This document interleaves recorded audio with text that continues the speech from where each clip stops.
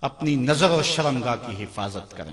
اس دور کا سب سے بڑا فتنہ یہ ہے کہ نگاہیں پاک نہیں رہی نگاہیں غلیظ اور گندی ہو گئی شرمگاہوں میں وہ تقدس نہیں رہا ہے۔